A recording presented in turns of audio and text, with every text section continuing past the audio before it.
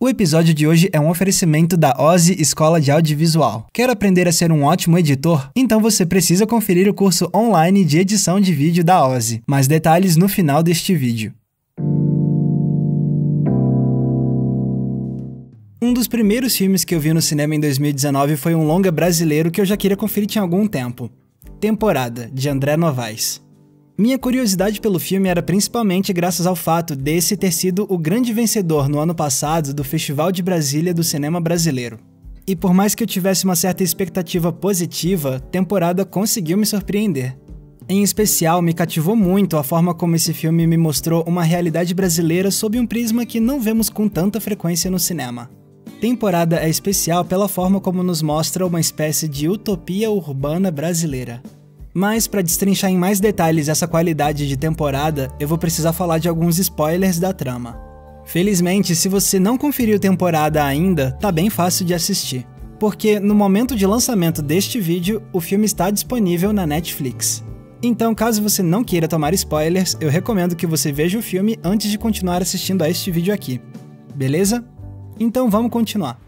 Então tá, Juliana, segunda-feira a gente começa, você vai ficar na equipe dele mesmo, tá? Quando eu digo que temporada nos mostra uma utopia urbana, eu não tô falando em termos de desenvolvimento social e tecnológico ou de uma cidade com infraestruturas fantásticas ou coisa parecida. A utopia urbana de temporada é uma que existe principalmente na escala humana. Ela se manifesta na forma como as pessoas se relacionam. Na história, conhecemos Juliana, uma mulher que acaba de se mudar para a cidade de Contagem, em Minas Gerais, após passar num concurso para ser do combate a endemias. Ela deixou para trás sua cidade natal e se mudou antes do marido, que ainda precisava terminar de resolver coisas na outra cidade antes de ir embora também. Então Juliana está sozinha em um lugar novo. E se num primeiro momento podemos ficar pensando aonde essa história quer chegar, depois percebemos que a intenção do filme é nos mostrar não um destino final para sua protagonista, mas sim sua jornada de exploração, de reavaliação, de autodescoberta. E logo percebemos que essa nova realidade que recebe Juliana nos surpreende bastante. Pensa comigo, o que é que a gente já imagina que pode acontecer com uma mulher sozinha como Juliana, que chega em um lugar novo sem conhecer ninguém? Nosso lado mais cínico ou talvez realista nos diz que a qualquer momento essa cidade vai desapontá-la ou até mesmo quebrar-lhe o espírito. Mas pouco a pouco vemos que essa expectativa vai sendo desarmada porque o que Juliana encontra em Contagem é uma comunidade de pessoas que acolhem, que ouvem, que ajudam. É preciso ressaltar, por exemplo, a forma como temporada explora de forma sensível a temática da amizade. Com as novas amigas e com sua prima, Juliana, que nunca foi de ter muitas amizades, descobre o valor da confidência. Seja ela mesma revelando seus traumas, seja ela ouvindo as aflições das outras mulheres. Mas para além disso, o que mais me surpreendeu é como o filme fala da amizade entre mulheres e homens. Na primeira vez em que o Russão chama a Juliana para passarem um tempo juntos na casa dele, é claro que eu achei que ele ia dar em cima dela. Mas o que acontece é o oposto disso. Russão simplesmente joga videogame com Juliana e a partir daí eles começam a criar uma amizade genuína. Pelo restante do filme, vemos que Russão realmente não tem segundas intenções. Ele só quer ser um bom amigo para Juliana. Ele se preocupa com a vida dela. Ele compartilha com ela sua angústia ao saber que é pai de um menino que ele nunca conheceu. Ele até mesmo chama Juliana para acompanhá-lo em sua empreitada para abrir uma barbearia. Que é a nova onda do momento, ah, sacou? Ah, sim, barbearia. E aí vai ser uma barbearia top, nós vamos dominar esse espaço aqui, sacou? De forma similar, Juliana encontra um bom amigo em seu outro colega homem, o Hélio. Novamente, essa relação não é pautada por interesse sexual ou romântico, mas sim em um companheirismo simples. Não à toa, uma das cenas mais singelas de amizade é entre eles dois à beira de um lago, falando sobre as angústias de Hélio. Minhas irmãs enchendo o saco me arrumar outro trabalho. Minha mãe de cama. E por mais que o foco da trama seja sobre como a Juliana se relaciona com os outros, vemos que a ideia de utopia humana também se aplica a praticamente todos os outros personagens. Todos se ouvem, todos festejam juntos, todo mundo se ajuda. Mas quando a gente fala de utopias, é muito fácil falar também de ingenuidade. Porque, de fato, muitas vezes, fantasiar com uma sociedade sem problemas costuma ser um exercício de inocência. Temporada, porém, não é uma utopia ingênua.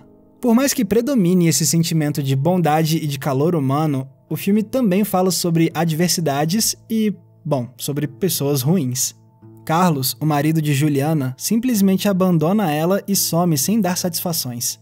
Já em outra cena, a Lúcia conta a experiência traumatizante que teve com a família racista de seu ex-marido. Além disso, existe toda a camada de sutis comentários sobre a realidade periférica de contagem, em que pessoas passam por dificuldades diárias para se manterem vivas. Então, temporada também fala sobre o que há de ruim nessa realidade. A questão é que o filme jamais se deixa definir por esses fatores negativos. Aqui, a vida da periferia não é uma existência pesada e sombria, mas sim uma capaz de leveza e de alegria. Sem contar como nesse filme as pessoas ruins, desagradáveis ou frias têm pouco ou nenhum tempo de tela. A senhora que é grossa com Juliana enquanto ela trabalha fica em cena pouquíssimo tempo. O pai de Juliana, que parece ser completamente indiferente à filha, tem um punhado de planos e pronto. A família racista do ex-marido de Lúcia é um fantasma do passado, surgindo apenas no relato da mulher. E Carlos, o mais perto que o filme poderia ter de um vilão, tem a sua presença constantemente sobrevoando a história até ficar claro que um cara desses não tem espaço aqui. Ele jamais aparece e suas desculpas sequer importam. Mas.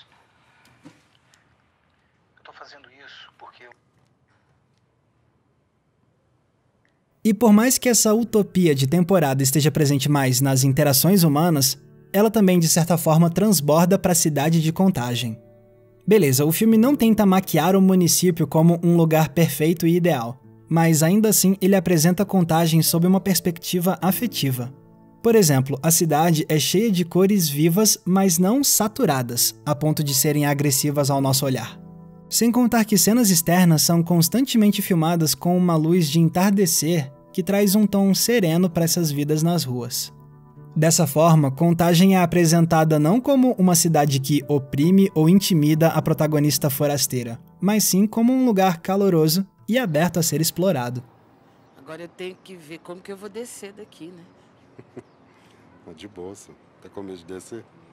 Ok, ok, tudo é muito bonito, quase todo mundo é gente boa, mas se é tudo tão legal, como é que temporada não fica chato? Cadê os confrontos que trazem empolgação? Cadê o conflito? Pois é, o André Novaes parece ter entendido que uma utopia poderia se transformar em algo simplesmente sem graça. E é por isso que ele encontrou diferentes maneiras de criar conflitos em sua trama. Porque para ter conflito numa história, você não precisa necessariamente ter antagonistas. Existem outras formas de criar tensão dramática para que a história ganhe vida e nos prenda a atenção. E temporada entende isso. Aqui, a trama se desenvolve de forma episódica, e cada segmento traz tensões de pequena e grande escala que deixam a personagem se desenvolver pouco a pouco. Como é que uma mulher tímida dessas vai se sair num trabalho em que ela precisa entrar na intimidade caseira de estranhos? Como ela vai superar os seus medos para exercer a profissão? Como ela vai lidar com o sumiço do marido? Será que ela vai se abrir a novos romances mesmo sem saber se o marido vai aparecer? A todo momento, Juliana é confrontada com desafios que estão longe de serem banais. Esses são obstáculos que vão colocar em xeque a autoidentidade dela. Juliana passa o filme inteiro confrontando a mulher que ela sempre foi com a nova mulher que ela pode se tornar em meio a tantas mudanças. Ou seja, o conflito de Juliana não é necessariamente com outras pessoas, mas sim com a vida e com a imagem que ela tem de si mesma. E é graças a essas constantes disrupções que temporada se mantém instigante o tempo inteiro. E o melhor é que o trabalho de câmera de André Novaes, apesar de austero, consegue traduzir muito bem essas tensões e evoluções da protagonista. Por exemplo, com frequência o diretor enquadra Juliana encurralada em um dos cantos do quadro, o que faz todo sentido para uma personagem que se sente intimidada pela experiência de chegar em uma cidade nova. Isso é inclusive usado para criar pequenas tensões em cenas específicas. Aqui, por exemplo, foi outra ocasião em que eu achei que o Russão ia dar em cima da Juliana. E não é à toa. Olha como o quadro foi composto. Juliana encurralada no canto, Russão ocupando a porção central e ainda por cima com uma linguagem corporal que parece sugerir um avanço. Mas de novo a gente vê essa tensão ser desarmada. Em vez de dar em cima dela, Russão na verdade começa a se abrir sobre as suas angústias em relação à possibilidade de ser pai. Mas, obviamente, não é só nos conflitos que as escolhas do diretor se sobressaem. Acima de tudo, a forma como André Novaes filma sua história ressalta ainda mais o lado calmo, contemplativo e íntimo dessa realidade mineira. Os planos são majoritariamente estáticos e longos. Há uma enorme quantidade de planos mais abertos que capturam o ambiente urbano que acolhe Juliana. Existem diversos momentos de pausa e silêncio. São decisões que trazem para a linguagem do filme o mesmo tom do roteiro, um de calmaria e de afeição singela.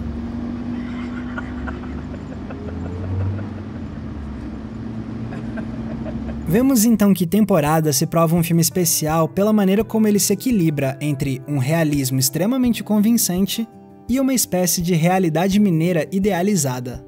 Essa cidade e esses personagens são como as cidades e as pessoas que vemos Brasil afora. Mas nesse universo particular da história, André Novaes também cria uma comunidade tão reconfortante e calorosa que para muitos pode acabar parecendo algo quase impossível de existir num país tão problemático quanto o nosso. E o próprio filme não nega que desafios existem para essas pessoas. A questão é que o longa reconhece o que há de errado, mas também mostra como é possível criar uma realidade edificante em meio a tudo isso. E então, a utopia urbana de temporada acaba se provando muito cativante justamente porque ela não parece estar tão longe assim do nosso alcance.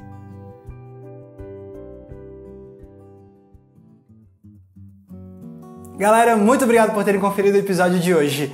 E me diz uma coisa, você tem vontade de produzir vídeos que nem a gente faz aqui no canal toda semana? Caso a resposta seja sim, a gente tem uma recomendação para vocês. É o curso online de edição de vídeo da OSE Escola de Audiovisual. Para quem não conhece, a OSE é uma escola tradicional daqui de Brasília com mais de 15 anos de existência.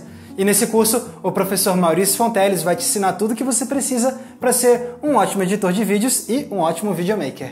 Se você quiser atestar a qualidade do pessoal da OSE, é muito simples. Basta você conferir o canal deles aqui no YouTube, onde você vai poder conferir centenas de vídeos que eles já produziram e ver que os caras realmente sabem do que estão falando. E é importante lembrar que se você comprar o curso usando o nosso link, você ganha de bônus um curso de After Effects. Sem contar, é claro, que você vai estar ajudando muito a gente a financiar o nosso trabalho. Então, se você quer dominar a arte de editar vídeos, não deixe de conferir o curso da OSE. O link está aqui embaixo na descrição. Lembrando também que se você quiser me acompanhar nas redes sociais, é só me procurar usando os nomes que estão aparecendo aqui embaixo. E não se esqueçam, é claro, de curtir esse vídeo e se inscrever aqui no Entre Planos para não perder nenhum dos nossos episódios. Mais uma vez, muito obrigado pela audiência, um abraço e até a próxima sessão.